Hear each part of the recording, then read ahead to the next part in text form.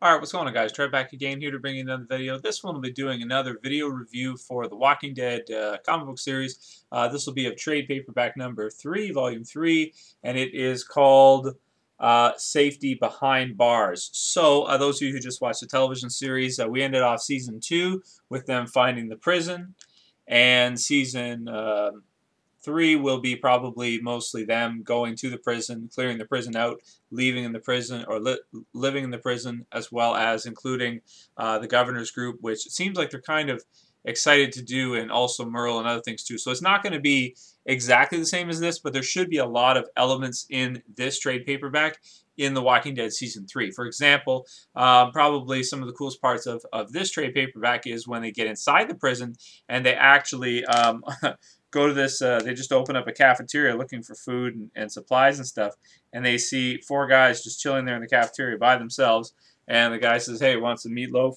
Right there, you see how they're just like relaxing. As soon as they open the door, there's just like four guys just chilling there, and uh, these four guys here are uh, actually uh, inmates. So um, they're not guards or anything. Uh, they're inmates, and there's uh, a few different ones. There is uh, Dexter, who is uh, this uh, African American male with a shaved head and tattoo on the side of his head, a missing tooth right there. Um, a, uh, a, a guy with a sort of like a fatter guy with a long white beard. His name's Axel, uh, who's another cool character. Uh, Andrew, who's a character that I think his name's Andrew, that has uh, curly hair and he's like really drugged out African American, uh, maybe about mid 20s type guy. He's got earrings. he's just like really cracked out, like you know, like a heroin addict or something.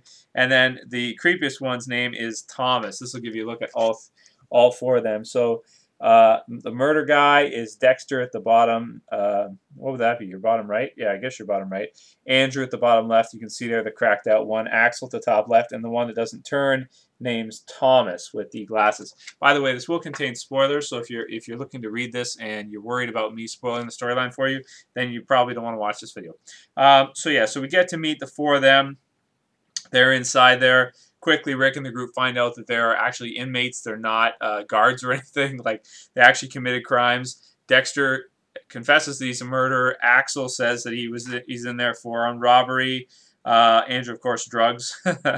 drugs, man. Possession, selling, stealing. I've done it all. But I'm clean now. Totally clean. Gotta be, you know. and then uh, Thomas, who's the creepiest one with the sort of balding and the glasses, says tax fraud, but it wasn't my fault. Um, then after that, so they find they clear out the prison, they kill the zombies there pretty much, except for some sections in the prison. And uh, Rick decides he's going to go to back to Hershel's farm and grab Hershel and uh, you know some of the other people that are there, his family that's still left alive, and is going to bring them to the prison with them to to live. And uh, so in this, Hershel has a different number of kids than he does in the television series. Television series, he just has like Maggie, Beth, I think that's really it, isn't it? Yeah, and then Jimmy, who apparently is not his uh, son, it's uh, it's uh, Beth's boyfriend. Um, but yeah, that's it. He doesn't have any other kids, and in this, he has tons of kids. In the comic book series, he has lots. He's got like two twin girls that are younger. He's got a couple sons and stuff, and uh, just just um, yeah, he's just got a bigger family than what he does in the television series. Anyway, so we quickly uh, we quickly find out that as Hershel's family moved to the prison to live there, his two daughters, youngest daughters, are just kids, end up getting their heads cut off. um, and uh, one of the freakiest scenes in the entire, you know, Walking Dead series, scariest is that really dark. Um, and so he loses his mind, of course, and wants to know who did it. Next thing they know, they're trying to figure out, you know, which of the inmates was the one that killed the girls or cut their heads off. They immediately think it's Dexter, as he was in there for murder to begin with. So they think it, it was him. So they lock him up do all kind, uh, you know, uh, take the precautions, do all that, put the guns on them, all that stuff, and uh, it ends up being uh, Thomas, who we then quickly see try to kill Andrea in a very cool scene, probably the highlight of this graphic novel, and I'll show you uh, what happens with that. Just got to grab the right page. Um, hmm. It's coming. Here is uh, the two girls. This is graphic, by the way, just a warning. Um, yeah, there's the two girls' heads, and they become walkers, of course, so they start twitching and all that. And Glenn puts them down. And um, the scene with Thomas, who's the creepy balding guy chasing Andrea. I'm going to grab it because it's really cool. So this is a really dense one too. There's a lot of stuff that happens in this trade paperback. I mean, again, it'll probably be a lot of season three, just the trade paperback. There, there she is running, and there he is chasing her with the knife. Rick sees it. Rick comes in, intervenes, uh, takes him down right there, and then puts in some vicious ground and pound. Some of you know, just Tito Ortiz, Brock Lesnar ground and pound. They would be pleased and uh, you know they pull him off of him, and his hands are all ravaged. Rick has just mangled his face right up to the point where, you know, his hand is you know foreshadowing. His hand gets ruined by just smashing his face, and there's Thomas's face, of course, because he found because obviously Rick knows that he's the one who killed Hershel's girls. Uh, so that's one thing that happens in this trade paperback. Also, is Tyreese's uh, daughter who had this creepy little boyfriend with glasses and stuff. Uh, they have like some kind of suicide pact and essentially they were going to shoot each other at the same time, but she couldn't do it. So um, he did it. He did it to her, and then uh, after that, of course, she dies. She turns into a walker.